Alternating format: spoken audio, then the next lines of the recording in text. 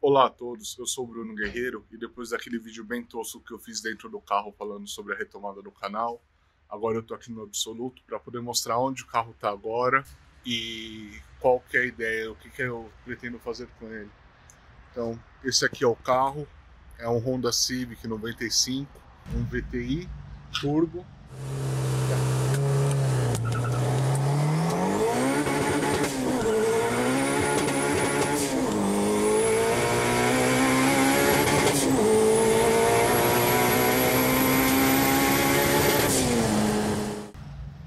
quebrado desde 2019 e desde então ele ficou no tempo aqui do lado do absoluto dinamômetro, está nesse estado lastimável. Ainda essa semana choveu muito, então está um pouco menos pior, mas está muito, muito ruim. Até já vou deixar para quem quiser responder nos comentários. Você acha que a pintura vai manchar ou na hora que lavar e fizer um polimento a pintura ainda vai estar tá ok? Tem muita gente falando que a pintura vai manchar, que já deu PT na pintura. Eu ainda tenho esperança que seja só fazer uma lavagem bem feita e um polimento que dê para recuperar o carro ainda. Ele quebrou porque travou um bico aberto na partida, deu calço hidráulico e aí quebrou um pistão e o bloco do carro. Aqui o interior está num estado bem ruim, mas já estava antes. Então, o banco de couro é uma coisa que me incomoda muito nesse carro. Eu queria fazer ele em tecido novamente, no padrão original, mas agora está indo todo o dinheiro no motor, então é uma coisa que ainda vai esperar um tempo. Aqui são as peças, os periféricos do motor.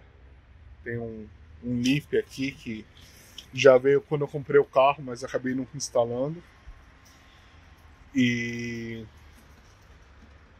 Caramba, já soltou isso aqui que eu não tinha visto. Mas tudo bem.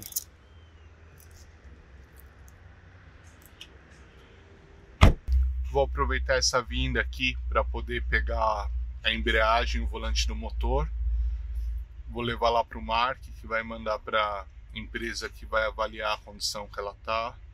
Provavelmente a gente vai refazer ou comprar uma nova, ainda não sei. Espero que dê para refazer essa aqui para diminuir um pouco de gasto. Eu estava lá gravando o carro, mas precisei parar para passar os carros aqui no Dino que chegaram. Mas resumindo, agora eu estou conseguindo remontar o carro. É, ele já era forjado, já tinha um kit stroker de 1.8. A diferença que ele vai ter é que ele vai ter as camisas forjadas da Darton e pistões de 84mm. Agora eu vou colocar o vídeo que eu já tinha feito mostrando os pistões, os bicos, e o próximo vídeo que eu vou fazer provavelmente vai ser lavando o carro e ver o que aconteceu com a pintura, ver qual foi o dano. Então, se vocês tiverem alguma curiosidade, alguma sugestão, é só deixar aí nos comentários. Valeu! Hoje eu fui na AFP buscar os pistões que foram feitos sob medida precisou de um período de 60 dias para eles serem produzidos, e também os novos bicos, que justamente os bicos antigos foram a causa da quebra, e as peças têm que ir para a rede forte, que vai fazer o processo de colocar as camisas forjadas e todo o resto do, do trabalho de retífica do motor. Então ainda vai demorar um tempinho para chegar na mão do, do Mark, da oficina MK, para começar a montagem em si. Bom, essa aqui é a caixa que meus pistões da FP. Aqui a etiqueta com as informações. Foi feito o motor B16A2 Stroker. O motor B16, a camisa original dele é de 81 milímetros. Esses aqui são para usar com camisas de 84 milímetros. Na quebra, as camisas acabaram indo embora, né, como eu já tinha falado. E na época surgiu a oportunidade de comprar um jogo de pistão de 84 milímetros da Carrillo. Só que e foi a primeira coisa que eu comprei para o carro. Só que aí, agora, quando eu fui fazer a montagem, eu descobri que os pistões não serviam, porque eles não eram para um carro que tinha o kit stroker de virabrequim biela como o meu carro tem. Então, é, com esse setup, só servem pistões como esse aqui que eu já tinha, feito pela JE, que ele tem o pino deslocado. E aí você tem que fazer sobre medida, não tem nenhuma outra opção. A opção seria fazer na JE novamente ou fazer aqui no Brasil. Abrindo aqui a caixa, vem o manual com as guias de folga e as informações pertinentes do, do kit, adesivos e os pistões em si.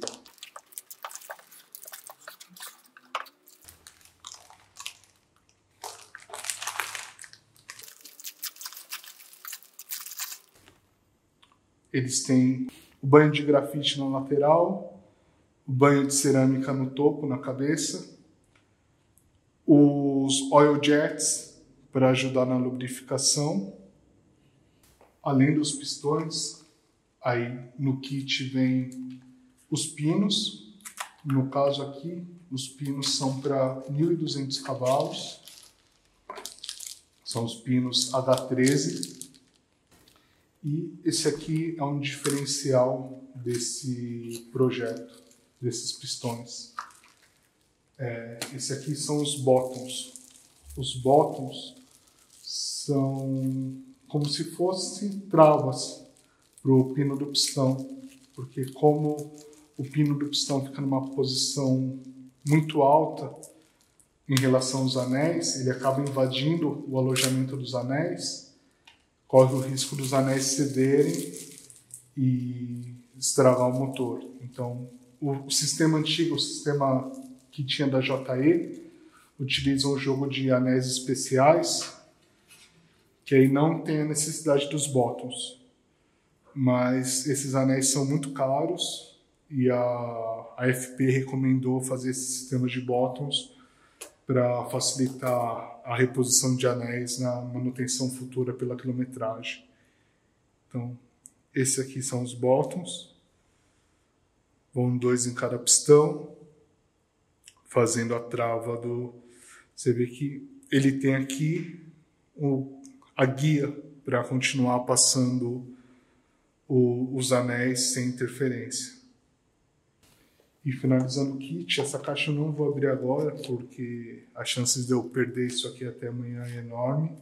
São os anéis, não são nada especial. São anéis de Nissan, se não me engano são do Marte. E é isso. E finalizando aqui, não chegaram hoje, mas como são muito importantes, eu vou aproveitar para mostrar também, que são os bicos, que foram os motivos da quebra.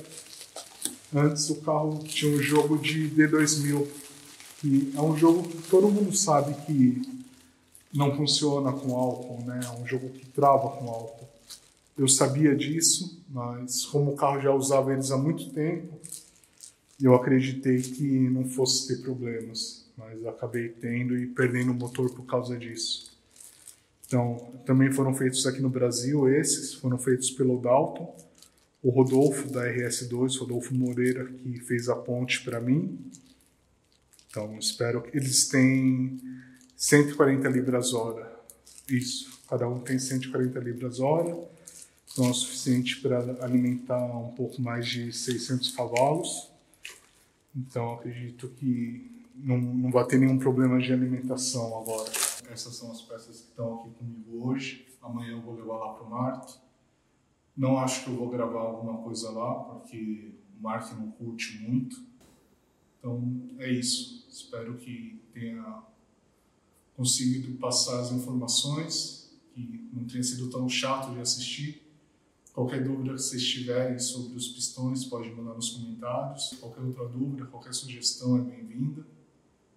E tem mais um bônus aí de uma coisinha que eu também busquei hoje, e se vocês se interessarem, é só falar. Valeu! Esse é o bônus que eu tinha comentado quando eu postei no Instagram que eu estava indo buscar os pistões. Eu aproveitei para encontrar um amigo e pegar essa encomenda. Essa encomenda, na verdade, a maior parte dela é do BIM, do canal BIM Spec. E bastante gente perguntou no Instagram, então como eu vi que tinha bastante gente interessada em Hot Wheels, eu fiz esse extra aqui. E aí, se vocês quiserem ver aqui no canal sobre Hot Wheels, comenta que aí eu produzo alguma coisa, fala sobre o que, que vocês querem saber, sobre essas séries especiais que não vêm para o Brasil, sobre os produtos que se encontram no Brasil, e aí eu produzo alguma coisa.